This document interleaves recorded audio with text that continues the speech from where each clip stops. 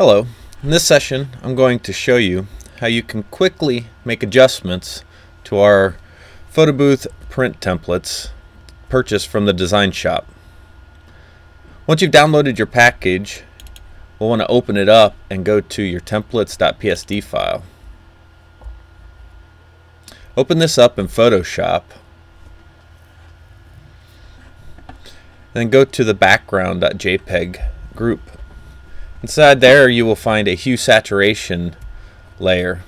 Using this layer we can make manipulations to the uh, color spectrum and change the color of our background.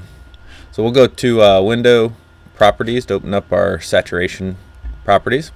Now using hue and saturation we can desaturate or saturate oversaturate the uh, background color. I'll show you kind of nothing major but you can see it kind of turn gray and then if I go to the far spectrum, it gets really, really bright. So you can play in there, and then you can uh, move throughout the uh, color wheel.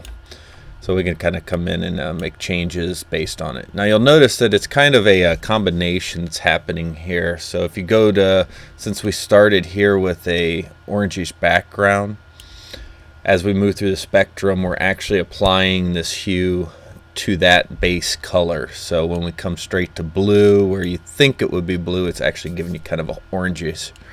So you just kind of have to play with it a little bit, and um, you can get just about any color you would ever need. Um, we've had great success with this. Um, if you have any questions, please uh, feel free to uh, drop us a line at uh, shop at photoboothOwners.com or on Twitter at I own photobooth or always in our uh, forums at uh, photoboothowners.com forward slash forum.